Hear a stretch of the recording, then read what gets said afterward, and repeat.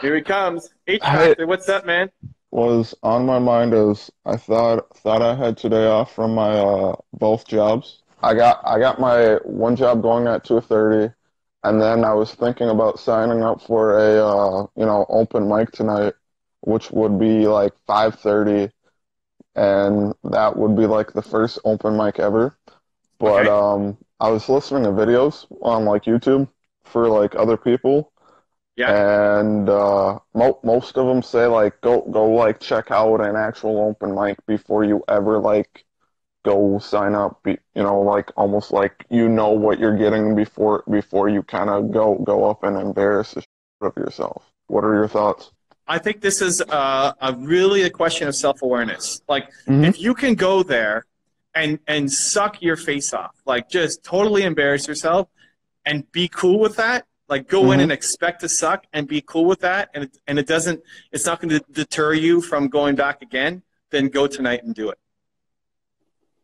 But if you feel Well- like if you if you go up and totally embarrass yourself, and and then like that may mean you never go to a comedy club again and never try it again, never try stand up again, then, Mhm. then get a little more data, get a little more research. Here's like the struggle though, because I mean, I was like expecting not to have to work for like anything. Like, you know, just like my my mindset to today was like focusing on, on that, like, be because you got to be there, I guess, at like 5:30 to do, do do like a sign up, and like based on my schedule, it's not gonna work. I got like I got to work my my one job at 2:30, which would be catering, which is probably I'm assuming it's gonna take till five, maybe six, seven.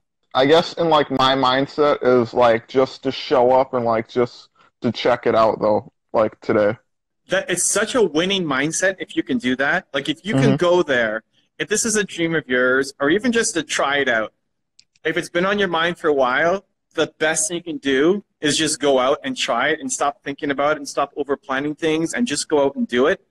Mhm. That's the, like I don't know how long like how long you've been thinking about doing an open mic. Like actually, actually, actually, probably like like the last like week, but like Okay. how long I've actually listened to comedy though? I mean, years, you know.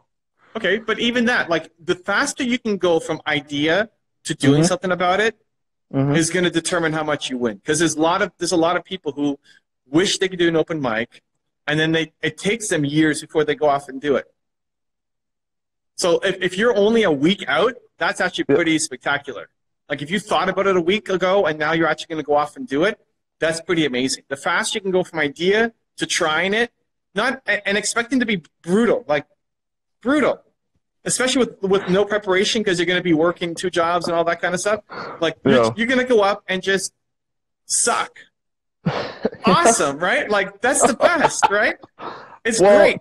the mindset in my mind is just to, you know, I mean, being 24, just start flinging the wall, figure out what's gonna stick, what's not, and then like start taking more preparation in life, whether it's with this or like other things, because it's experience, experience, experience.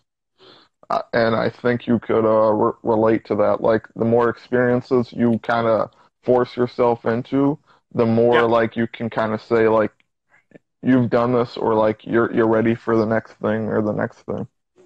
It, it's just going and seeing if you enjoy it, even mm-hmm. part of the process. And if you want to get better at it, you can. Like, listen, you if you if you wanted to dedicate the next eight years of your life to being a stand-up comedian, you could get really good at it, right? You could.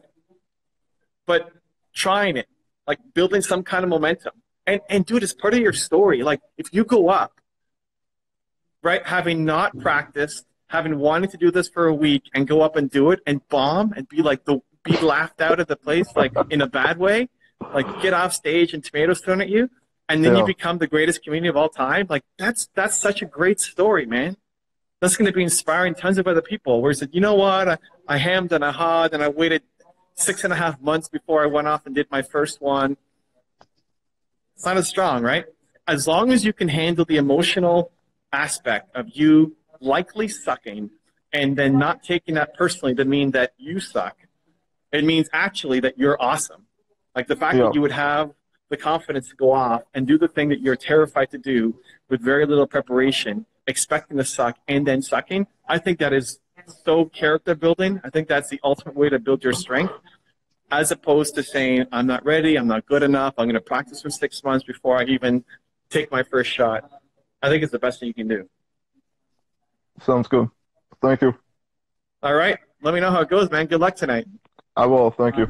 Also, if you want to know what I think and what other successful entrepreneurs think about building confidence, check out my new 254 Confidence series where every day for the next 254 days for free, I will send you a 30 second to 5 minute video in the morning to help you build unstoppable confidence. The link is in the description below.